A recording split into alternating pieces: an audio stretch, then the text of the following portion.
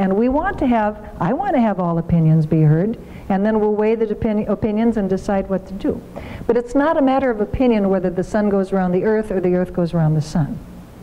It is not a matter of opinion whether the planet is getting warmer or not. That is something that we can test empirically. It's not a matter of opinion whether CO2 is a warming gas. That is not a matter of opinion.